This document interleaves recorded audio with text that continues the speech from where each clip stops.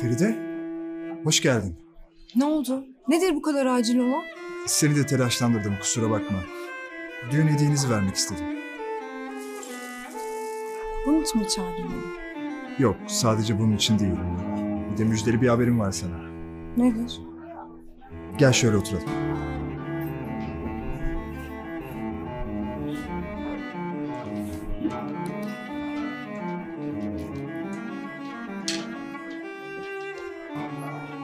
Benden kurtuluyorsun. Ne diyorsun sen ya? Ankara'yı terk ediyorum. Gidiyorum.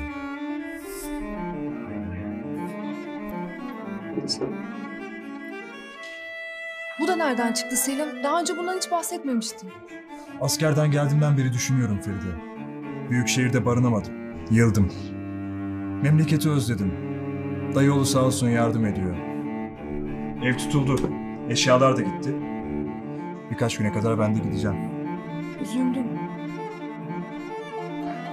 Feride, bugüne kadar sana rahatsızlık verdiğim için kusura bakma.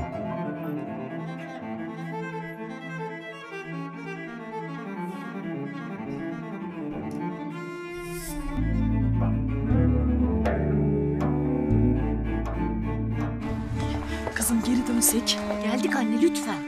Günaha giriyoruz ama. Ha, günaha giren biz değiliz onlar.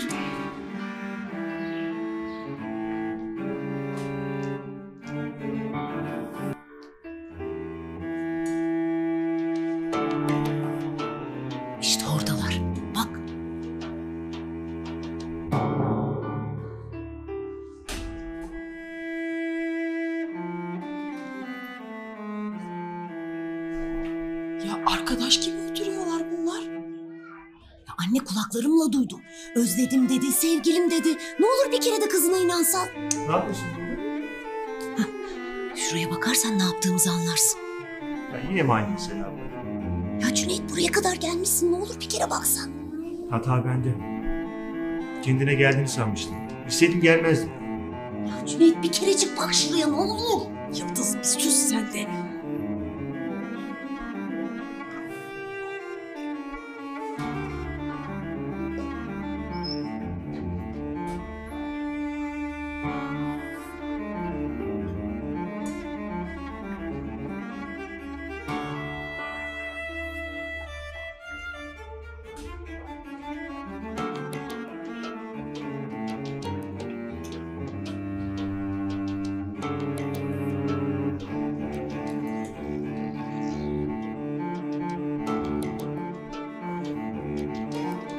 Hoşça kal Feride.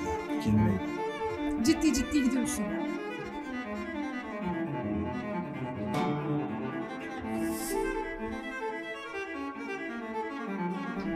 Cüneyt şu manzaraya bak.